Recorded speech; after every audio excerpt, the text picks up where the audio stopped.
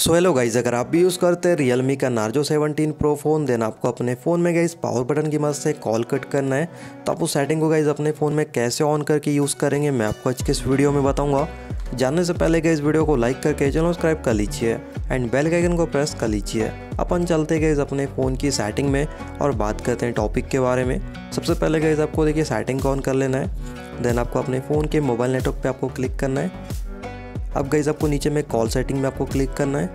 यहाँ पे आपको गाइज़ देखिए ऑप्शन मिल जाता है आंसर इंड कॉल का, आप इस पर क्लिक करेंगे। यहाँ पे गाइज़ आपको देखिए press power button to end call का ऑप्शन मिल जाएगा। आप इस पर इस प्रकार से गाइज़ इनेबल कर लेंगे। अब गाइज़ आप अपने फ़ोन की इनकमिंग कॉल या फिर गाइज़ आउटगोइंग कॉल को पावर बटन की मदद से कट कर सकते हैं। तब इस प्रकार से गाइज़ अपने फ़ोन में सेटिंग को यूज़ करेंगे एकदम आसानी से। एंड कोई दिक्कत जा रही कॉमेंट कीजिए। मैं मिलता हूँ आपसे नेक्स्ट वीडियो में, नए टॉपिक साथ। तब तक ले बाय